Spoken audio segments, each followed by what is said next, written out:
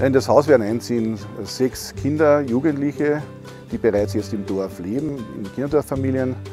Und zwei Kinderdorfmütter gehen in Pension. Und dann war halt diese Idee und auch die Idee der Kinder und Jugendlichen, dass man da für sie da ein, sozusagen eine Wohngemeinschaft kreiert. Und diese sechs Kinder signalisieren uns auch jetzt schon, dass sie sehr froh sind, dass wir dieses Projekt aufgegriffen haben und dass sie auch sehr froh sind, dass sie auch noch da im Dorfverband weiterhin leben können.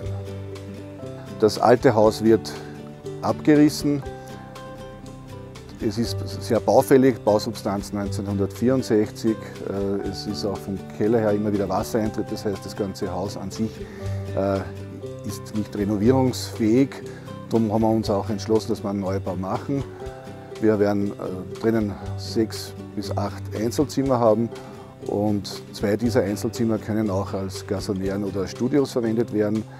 Das Haus an sich ist Holzbauweise, teilweise barrierefrei, Niedrigenergiebauweise, nachhaltige Baustoffe und wir werden auch ein Nutzwassersystem installieren. Meine Motivation in diese Richtung auch zu gehen ist, dass man den Kindern ja auch und Jugendlichen beibringen sollen, in weiterer Folge, wenn sie aus dem SS Kinderdorf rausgehen, dass sie ja dieses Bewusstsein mitnehmen. Ich denke, das ist ein Teil auch dessen, was man ihnen so fürs Leben mitgeben geben soll. Es ist nicht alles immer zu, so im Überfluss zur, zur Verfügung gestellt und da ist halt mein Impuls, dass ich sage, ja, denken wir daran, äh, dass wir möglichst ressourcenorientiert leben.